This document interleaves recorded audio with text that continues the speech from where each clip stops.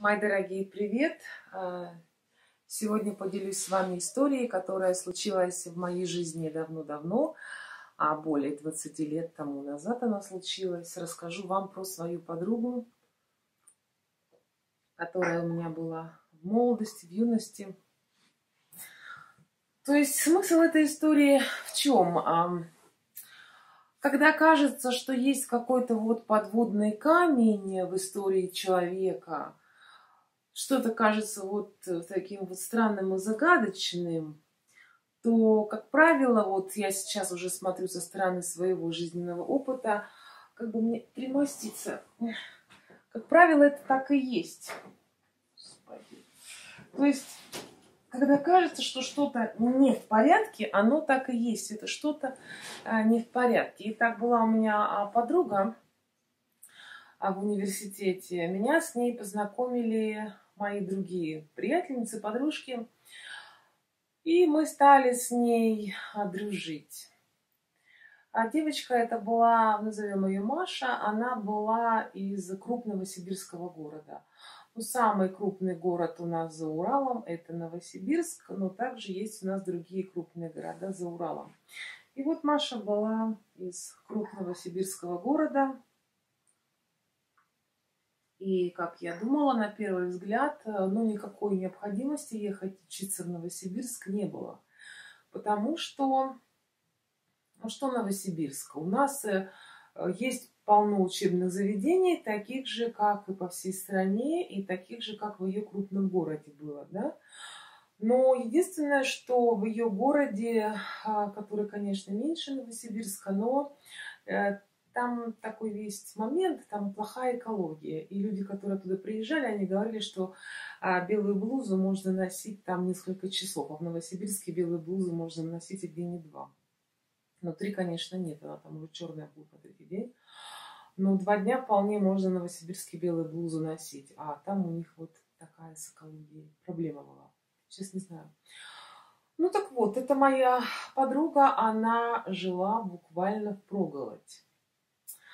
А при этом, при всем, что она жила в проголодь, а, родители ей сняли через два или три месяца после поступления в универ, они ей сняли очень приличную однушку недалеко от центра города, недалеко от того места, где жила я, и она не нуждалась в вещах.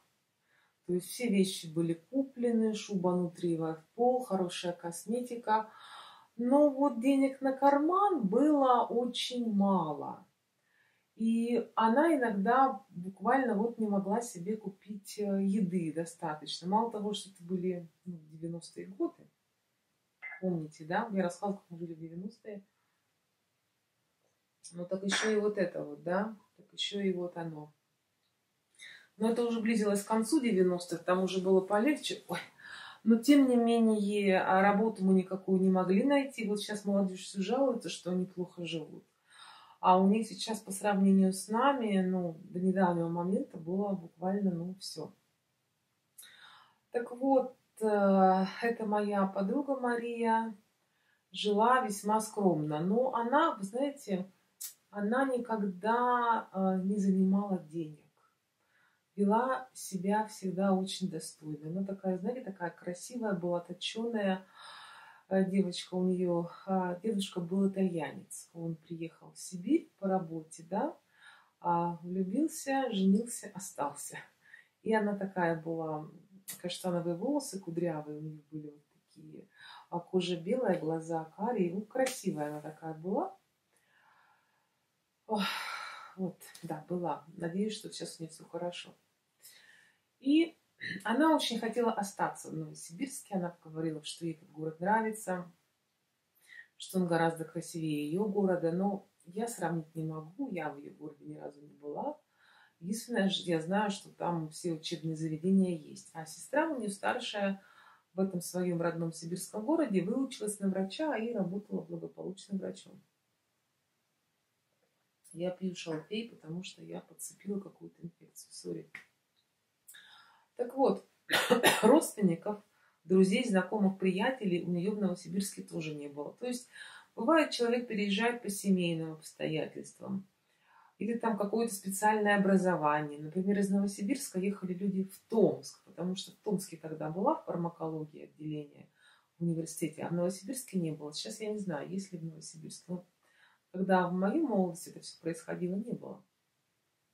Ну и вот этой Марии моей никакой необходимости тащиться в Новосибирск и ее родителям тратить такие деньги, а, покупать ей отдельно все, а, чашки, ложки, вилки, а плюс еще платить аренду, понимаете, в крупном городе аренда не может быть маленькой.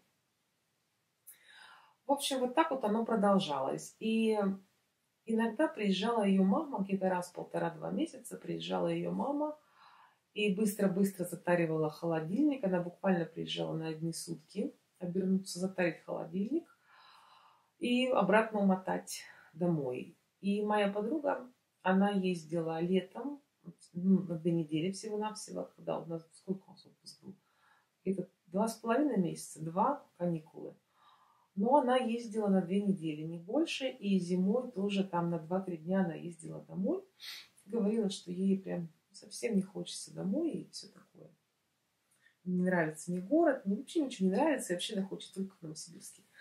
Естественно, а, мы были молодые, мы хотели выйти замуж, да, но нас никто не брал замуж, то есть начинали с нами отношения, а потом, ну, говорили нам, что мы там э, старые, там некрасивые бедные, то есть у меня есть обида вообще на русских мужчин, есть, да, потому что благодаря русским мужчинам я вот живу на чужбине, то если меня бы русские взяли замуж, то кто-то из русских взял бы замуж, то я жила бы дома, да, понимаете, дома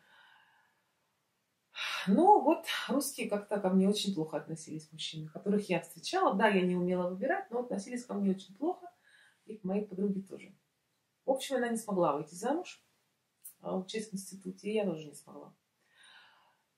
И вот эта вот ситуация, которая была с ней, она меня всегда, ну, удивляла. Скажем так, она была моя близкая подруга.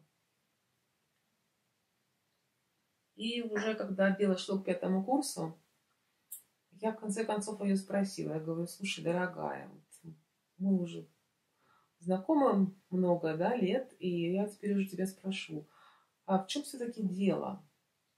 Почему тебя твои родители а, держат впроголодь? Судя по всему, они тебя очень любят, и они тебе денег-то не жалеют, но как-то вот ты плохо живешь э, при такой общей ситуации, что у вашей семьи есть деньги и мама щедрая, и сколько денег эти билеты стоят на поезд, обернуться туда-обратно. И она мне рассказала свою историю. То есть она сказала, да, деньги в семье, правда, есть, всегда были. Мама, кстати, у меня была учительница. А папа у нее был шахтер. Она говорит, папа хорошо всегда зарабатывал а, и зарабатывает, но папа пьет очень сильно – и поэтому мама не может приехать надолго. То есть мама приезжает на день, но маме надо 12 часов быть в поезде и 12 часов обратно. Понимаете? То есть это получается два дня, даже больше, потому что туда-сюда добраться. Она говорила мне, что мама никак не может папу оставить. У сестры своя семья. Ну что там, сестра придет, там, ну, на час, на два посмотрит отца. А что надо там сделать по хозяйству за эти за 2-3 дня и уйдет, да, и все. То есть э, он остается один в квартире в большее время. Так вот, мать приезжала на выходные всегда, когда приезжала. И что было дальше? Она мне рассказала дальше, да, историю. Говорит, ну, вообще у меня есть такой грех большой. А я очень сильно люблю пить пиво. Вот прям, когда была молодая, ну, в школе, когда еще училась, молодая до поступления в универ, прям вот э, были несколько раз запои пивные. И говорит, когда вот вижу пиво, вот прям вот, вот не могу.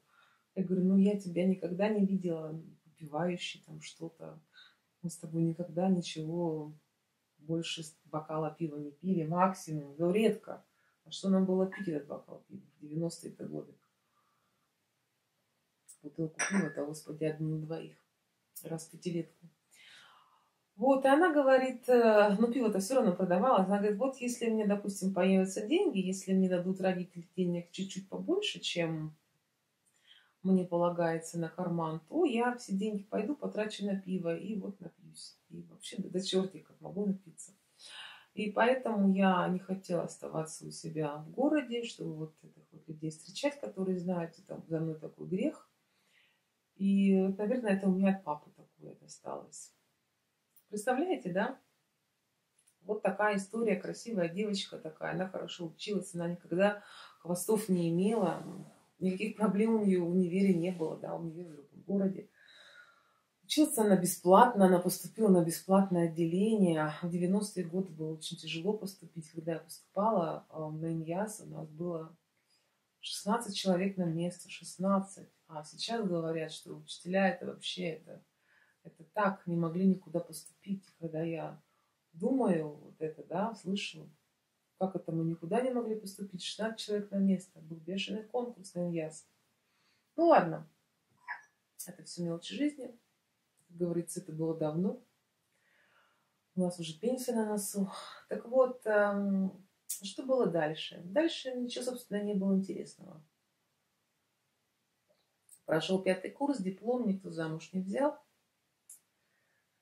И она поехала домой, не солоно хлебавшая, к себе. Распределения-то, помните, уже тоже не было. Сейчас, не знаю, наверное, тоже нету. И она мне позвонила где-то месяца через полтора. Говорит, звоню тебе, это попрощаться. Такие у меня дела. Мама мне нашла в далекой-далекой деревне мужчину, из верующей семьи, он сам верующий. Вот поеду, в общем, ни разу его не видела, только на фотографии. Ну вот поеду, короче, с концами замуж поеду в эту глухую деревню, потому что ты же знаешь, что мне в городе оставаться, ну, опасно для моего собственного здоровья.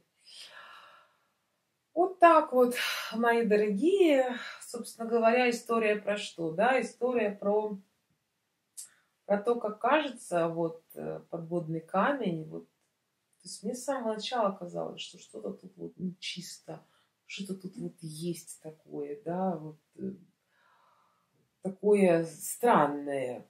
Ну, никак у меня карты не сходились, когда я про нее думала. Потому что, ну, никакой необходимости тащиться за 3-9 земель и тратить такие деньги на Новосибирск а, к тому же она жила не так близко с университетом, надо было ездить на транспорте. То есть это еще транспорт стоил денег, да? То есть э, я думала, где же затык, где же подвох-то вот этот вот, а, в чем же дело-то может быть? И вы знаете, ведь так не догадаешься никогда, да, красивая, умная, воспитанная, Вообще во всех отношениях хорошая девушка, во всех просто. Хозяйственная и добрая. И вот такой вот грех. Представляете?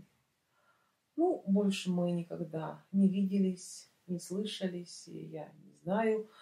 У меня нету аккаунта в Одноклассниках, мне там не интересно, потому что с Одноклассниками отношения не сложились.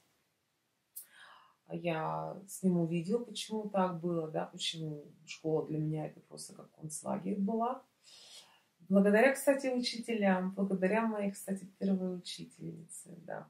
То есть, когда учителей ругают, что они не профи, где-то я там, потому что я сама педагог, но, к сожалению, я отчасти соглашаюсь, к сожалению, так, да, что многие учителя пришли туда, не знаю зачем, отрываться на детях и, кстати, на их родителях. Вот так, мои дорогие. Всем хорошего дня. С вами была Александра, мой влог из Швеции.